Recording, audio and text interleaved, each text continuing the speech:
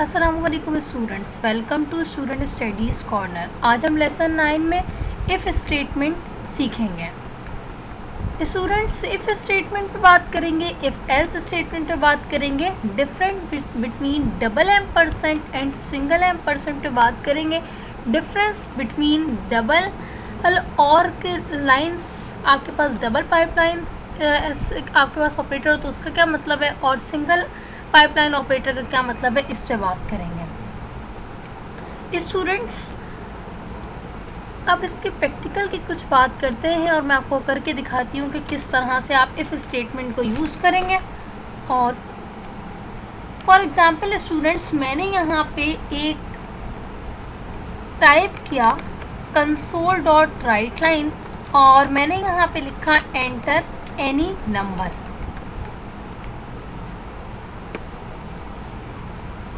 अब स्टूडेंट्स मैं ये नंबर जो है यूज़र से इनपुट लेना चाहती हूँ। यूज़र से इनपुट लेने के लिए हम यहाँ पे टाइप करते हैं console dot read line students read line का जो कीवर्ड है हमारे पास वो स्ट्रिंग को रीड करता है।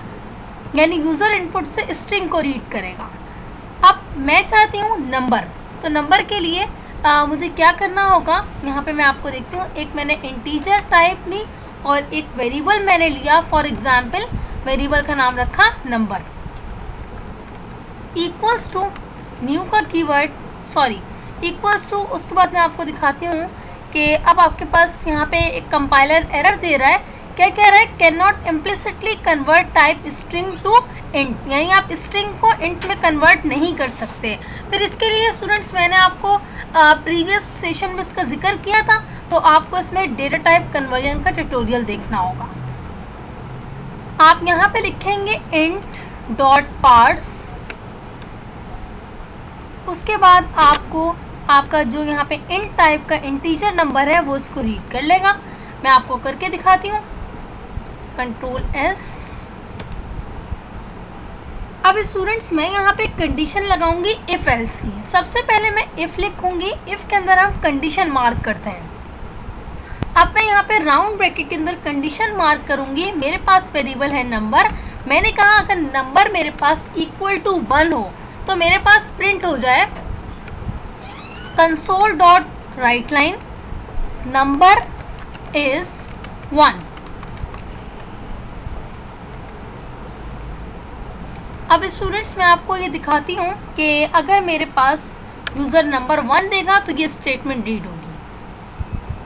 One number is one students अगर आपके पास ये कंडीशन ट्रू होगी, तब आपके पास किस स्टेटमेंट को रीड करेगा? अदरवाइज़ इस स्टेटमेंट को रीड नहीं करेगा. फॉर एग्ज़ाम्पल मैं यहाँ पे वन नहीं एंटर कर रही, मैं एंटर कर रही हूँ नाइन प्रोग्राम में मेरे पास ये नंबर प्रिंट या मेरे पास जो कंडीशन क्योंकि मैच नहीं कर रही, इस वजह से नंबर इस वन मेरे पास प्रिंट नहीं करेगा. उसके बाद मैं आपको करके दिखाती हूँ अगर मुझे मल्टीपल कंडीशंस लगानी है तो आप मल्टीपल कंडीशन भी लगा सकते हैं। कैसे? फॉर एग्ज़ाम्पल स्टूडेंट्स मैंने यहाँ पे एक कंडीशन मार्क की। जस्ट कॉपी एंड पेस्ट मैंने यहाँ पे कहा कि अगर यूज़र टू देगा तो यहाँ पे मेरे पास प्रिंट हो जाए नंबर इज़ टू अब स्टूडेंट्स अगर मेरे पास ये कंडीशन ट्रू होगी तो ये वाला स्टेटमेंट रीड होगा और प्रिंट हो जाएगा। अगर मेरे पास ये वाली कंडीशन ट्रू होगी तो ये मेरे पास ये प्रिंट हो जाएगा। कुछ स्टेटमेंट्स मैं यहाँ लिख लेती हूँ। फॉर एग्ज़ाम्पल मैंने यहाँ पे कंडीशन लगाई है वन टू और थ्री पे। अब मेरे पास अगर कोई वन प्रिंट एंटर होके और कंडीशन मैच होगी तो मेरे पास ये स्टेटमेंट रीड होगी। अदरवाइज़ ये स्टेटमेंट रीड नहीं होगी। और अगर टू एंटर करेगा तो मेरे पास ये स्टेटमेंट रीड होगी। थ्री एंटर करेगा तो ये स्टेटमेंट रीड होगी कैसे? मैं आपको करके दिखाती हूँ। स्टूडेंट फॉर एग्ज़ाम्पल मैं वन की बात कर रही थी तो मेरे पास नंबर इज़ वन प्रिंट हो रहा था। अब मैंने यहाँ पे लिखा टू तो मेरे पास प्रिंट हो गया नंबर इज़ टू अगर मैं स्टूडेंट थ्री लिखूँगी तो मेरे पास ये वाली स्टेटमेंट रीड होगी which is number is three और इन तीनों में से अगर कोई भी मेरे पास कंडीशन नहीं मैच करेगी तो फिर मेरे पास कुछ भी प्रिंट नहीं होगा, ये देख लें। अब स्टूडेंट्स में एक और मेरे पास वे क्या है कि मैं लास्ट में क्या एक कंडीशन मार्क कर दूँ? यहाँ पे इफ़ अगर मेरे पास number not equal to one and and की कंडीशन मार्क कर दी। फॉर एग्ज़ाम्पल स्टूडेंट्स मैंने यहाँ पे, और मैंने यहाँ पे लिखा, अगर मेरे पास number not equal to two हो एंड अगर इन सब में से मेरे पास कोई भी चीज़ मैच नहीं करेगी तो फिर मेरे पास क्या हो? नंबर यहाँ पे जो स्टेटमेंट मैं लिखूँगी, वो रीड होगी। नॉट इक्वल टू थ्री हो। तो मैंने कहा, यहाँ पे मैं जो लाइन लिखूँगी, वो प्रिंट हो जाए, और मैं यहाँ पे लिख रही हूँ number is not one two और थ्री इसका मतलब ये हुआ स्टूडेंट के इन तीनों में से कोई भी नंबर मेरे पास ये मौजूद नहीं है। इस वजह से मेरे पास ये कंडीशन फॉल्स हो जानी चाहिए। अब मैंने यहाँ पे लिख रही हूँ 45 तो क्या आ रहा है? Number is not one two और थ्री स्टूडेंट्स अगर मेरे पास ये कंडीशन मैच नहीं करेंगे तो मेरे पास इस तरह से इस तरह ये वाला, ये वाली कंडीशन रीड होगी। स्टूडेंट मैं यहाँ पे मल्टीपल इफ़ लिखूँ बार बार मेरे पास इफ़ रिपीटेशन हो, इसको मैं रिमूव करने के लिए यहाँ पे यूज़ करते हैं एल्स इफ़ मैं यहाँ पे एल्स की कंडीशन लगा रही हूँ else if if else if अब मेरे पास क्या होगा स्टूडेंट्स कि अगर मेरे पास ये कंडीशन यहाँ पर एल्स इफ़ का बेनिफिट क्या होता है, अगर मेरे पास ये कंडीशन ट्रू हो जाती है तो स्टेटमेंट इफ़ इफ़ करके बार बार रीड नहीं करता। आपको यहाँ पे जो भी कंडीशन मैच होती है, उसको रीड करता है, उसके बाद नेक्स्ट को जाके रीड नहीं करता कंपाइलर और लास्ट में स्टूडेंट्स मुझे यहाँ पे एल में लगाने की ज़रूरत नहीं है, क्योंकि मेरे पास अगर ये कंडीशन ट्रू नहीं होगी, और ये भी कंडीशन ट्रू नहीं होती, और ये कंडीशन भी ट्रू नहीं होती तो ऑब्वियसली वो एल्स में प्रिंट कर देगा, और एल्स में मुझे यहाँ पे कोई भी कंडीशन मार्क करने की ज़रूरत नहीं है। अब क्या करेगा मेरे पास कंपाइलर कि इफ़ की कंडीशन कंट्रोल यहाँ पे आएगा, इसको रीड करेगा कंडीशन फॉल्स होगी। फिर उसके बाद मेरे पास इसको आके रीड करेगा कंडीशन फॉल्स हो जाएगी। फिर इसको रीड करेगा, अगर मेरे पास कंडीशन फॉल्स होगी तो डायरेक्ट आके एल्स में आपके पास जो भी कंडीशन लिखी होगी, उसको प्रिंट कर देगा मैं आपको दिखा रही हूँ। एंटर एंड नंबर मैंने लिखा thirty four number is not one two और थ्री ये थी मेरे पास स्टूडेंट इफ़ एल्स इफ़ और एल्स ही कंडीशंस अब मैं आपको बताती हूँ एम परसेंट और और की बात करते हैं। स्टूडेंट्स मैंने यहाँ पे लिखा कि एंटर एनी नंबर और मैंने एक वेरिएबल के अंदर एक नंबर ले लिया यूज़र से इनपुट अब मैं यहाँ पे मार्क कर रही हूँ एक कंडीशन मैंने यहाँ पे लिखा इफ़